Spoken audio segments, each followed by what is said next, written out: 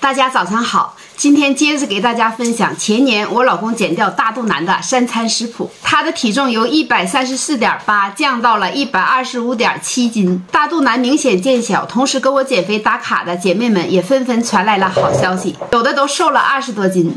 我跟着甜心妈妈轻松减了二十多斤。甜心爸妈早上好，减肥打卡，我也是用了两个月的时间，从一百二十斤减到一百斤，吃了十年的降压药，最近发现不用吃药，血压也不高了，真是做梦也没有想到还有这好事儿，太感谢甜心妈了。还有这位朋友说，谢谢甜心妈，跟你一年了，从今年四月份开始，基本跟你的食谱走，配合羊奶，我从一百三十八斤掉到现在一百一十四斤，我是受益人，至今才写第一篇评论，实在抱歉，谢谢你，甜心妈。视频跟餐就可以瘦，减肥是一件多么简单的事情啊！所以心妈在这里诚邀想减肥的姐妹加入我的减肥大军吧。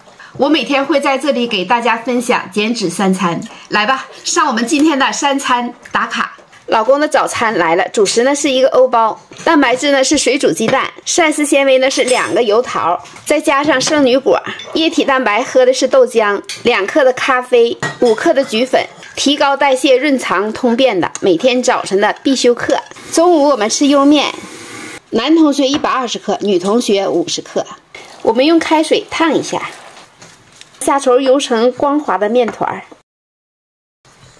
这个面啊特散了，包饺子肯定是不行的。然后呢，我们给它搓成长条。莜面鱼特别的好吃，姐妹们可以尝试一下。这样切成小段儿，然后放在手心里搓成这样，这属于山西特色美食。还有一道程序呢，把面鱼儿放在盖帘上，这样一卷，里面是空心的，外面是小贝壳，既漂亮又好吃。一卷就一个，眼睛是懒汉，手是好汉，老公的水平还是不错的。水开上锅蒸六分钟，香气飘满屋。准备的配菜有一块胡萝卜、青椒，还有圣女果，还有一袋鳕鱼丸子。胡萝卜在我们减脂期它是属于主食，只能当做配菜，少切一点点。把胡萝卜切成丝儿，青椒也切一切，圣女果一分为二。锅里倒油，葱花炝锅，胡萝卜也要炒一炒，圣女果、清水、鳕鱼丸子下里，放点松仁鲜，什么都不用放了。水开，下入莜面鱼，好美味呀！然后呢，青椒下里，吃我们自己的量就可以了。太幸福了，一碗莜面鱼，少油少盐，清蒸鳕鱼，凉拌黄瓜，主食蛋白质、膳食纤维都有了。晚餐两块猪骨头，中午剩的苦瓜。明天见，亲爱的粉丝朋友们。